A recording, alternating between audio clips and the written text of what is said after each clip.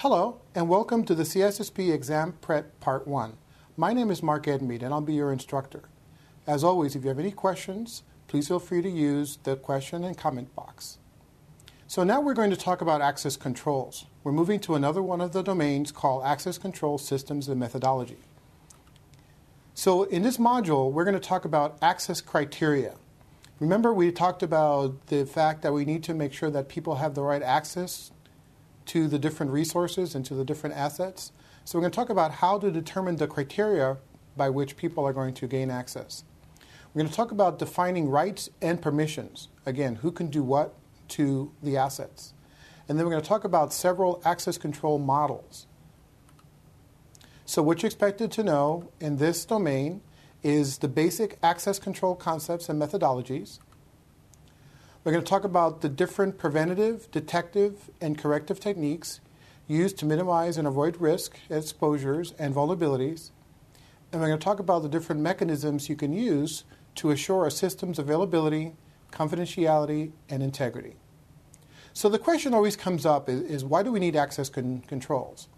Well, one of the main reasons is that we just don't want people to have access to all of the systems, to all of the networks, to all of the data files. We need to really control that access to information. So the main concept again is to remember that the three things that we need we need to protect is, the confidentiality, integrity, and availability of the data. And so we need to have those controls to make sure that either the right people are accessing the data or if the incorrect people, unauthorized people are accessing that data, that we can detect that and make sure that, that, that we know that so we can take some actions. So let's talk about access criteria. What determines the criteria of a person actually having access? Well, one of the ways we can do it is by the individual or by the identity. Somebody who's an administrator, somebody by their name, maybe that's how they're going to get uh, by doing their access. Maybe it's by the role. Maybe they're a member of the administrators group. Maybe they're a member of the engineering type of group. So, depending on the roles, they're going to gain certain access. Maybe it's by the location. Maybe a particular office, a particular building, a, particular geographic location. That's also going to perhaps determine the access criteria.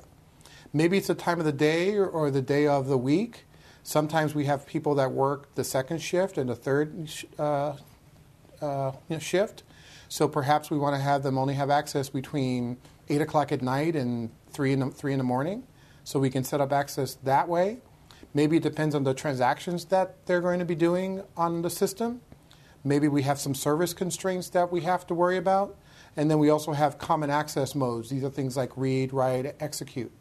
So that's how we determine the access criteria. So we need to think about the data that we're working with the people that are going to, going to be accessing it and the criteria by which they're going to be gaining access. So again, we talked about the location, we talked about the time, and we talked about the transaction. So again, these are just three ways that you can limit it.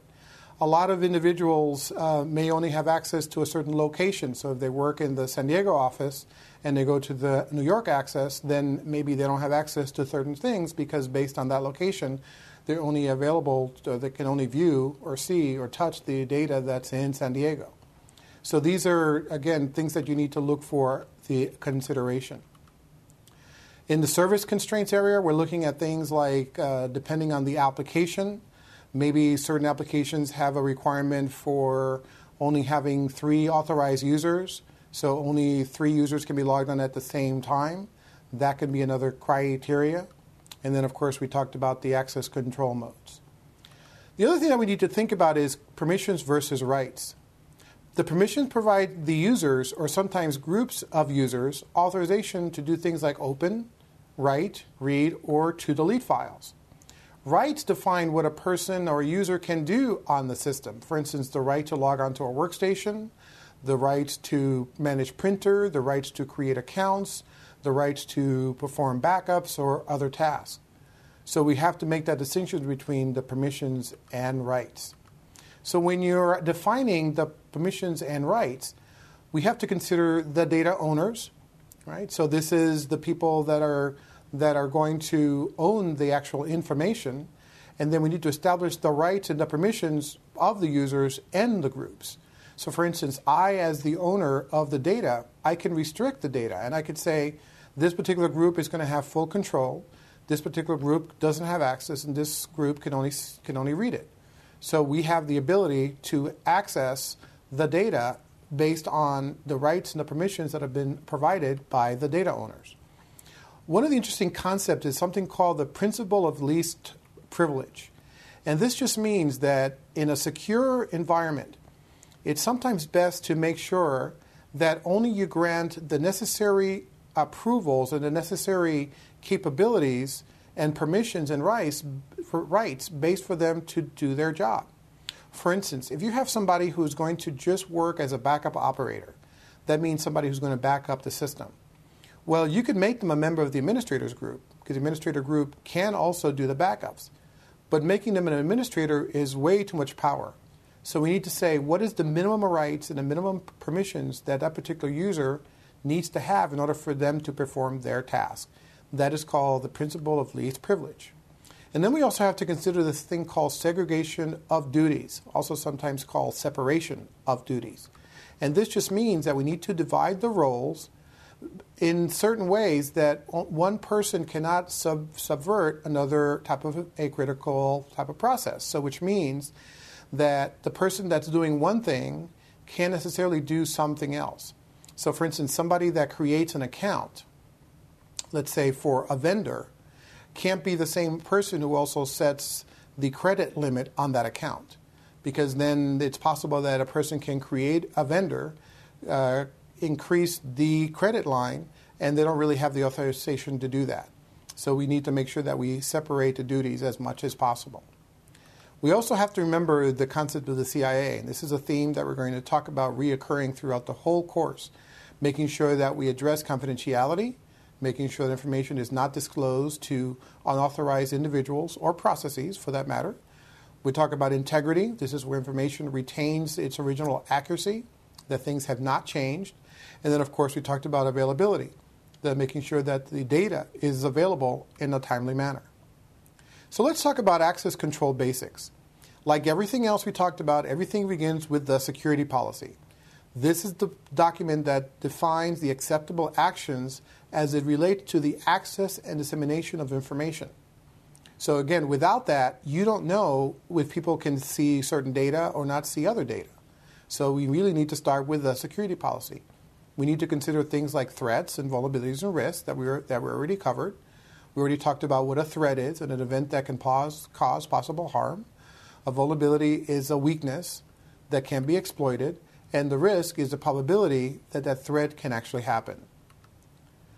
So there are several models that we can talk about when we talk about access control models. One of them is called discretionary. This is the one where the person decides, uh, as the owner, who can access or, or not. Again, keeping in, in mind that there's a rule called the need to know. Just because somebody has access doesn't mean that they should have access because there's that need to know basis. So that's the discretionary. I have the discretion of allowing access to certain resources. And then we have the mandatory. The mandatory is where control is based on the clearance. This is used a lot in the government agencies, where there's another third party uh, system, a third party policy that really controls the access based on the fact that the person either has a top secret type of clearance or, or a secret uh, one. Then we have non-discretionary access con- controls.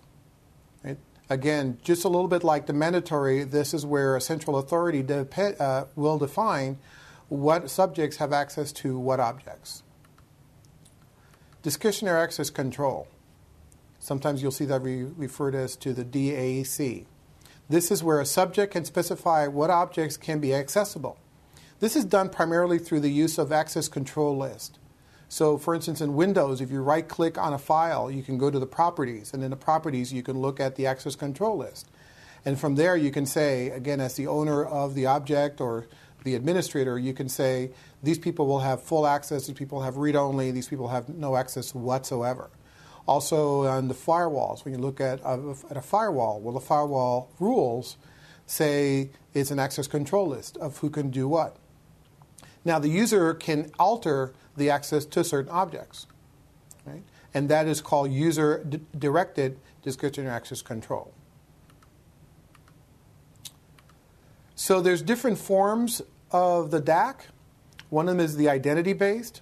This is where the access is granted based on the user uh, identity and or the resource identity. It could be user directed, right? This is that we talked about where the user can say and grant access. And then we have the hybrid, which is a combination of the two. So it doesn't matter what type of access control, either discretionary or mandatory, there should be some form of accountability. So this is where you need to make sure that you have a system or that systems are in place that is able to record and log access to certain files. Because we want to make sure that people have the access, but also we need to monitor them and make them accountable for any changes to, to that access. And this is where we, where we call auditing right, where we can go ahead and we can audit that information. Mandatory access control. This is where objects have a label, and that label has a classification. And based on the person's security level, they can gain access to it. So, again, remember those classified um, areas that we talked about for the government. We said unclassified, confidential, secret, and top secret. So, depending on their classification level, then they get to see certain data. So somebody who perhaps doesn't have a secret uh, capabilities, in other words, that their clearance isn't high enough, they won't be able to see something that is top secret because their clearance level doesn't match the classification of the actual object. We also have to remember that need to know basis because just because they are cleared to get the information doesn't mean that they has that they have to have access. So that's another area that you need to be concerned about. Under mandatory access control, we have rule based and we have administratively directed. So when you're talking about rule based, we're talking about access that is granted on a resource based on the resource rules. And then the administratively you know, granted are the ones that are granted by an administrator. Then we have this non discretionary access controls. This is where a central authority will determine what subjects have access to what objects. It could be based on the role or it could be based on, on the task. So, for instance, the role could be somebody who's an, an administrator. Then, based on that role, then they would get certain, certain access. And then another type of access control non discretionary is called the lattice access control. This provides an upper and lower band for the permissions. So if you notice here on this slide, it talks about the four levels of data, uh, data classification. And so the user can then be granted based on the lower and upper boundaries. They can see everything from confidential to top secret, or they can see everything from public to the secret, depending on, on how you want to do it. So, uh, do you have any questions? If you have any questions, make sure you use the comment box. Thank you for joining us. This concludes our talk about access controls and access control systems methodology.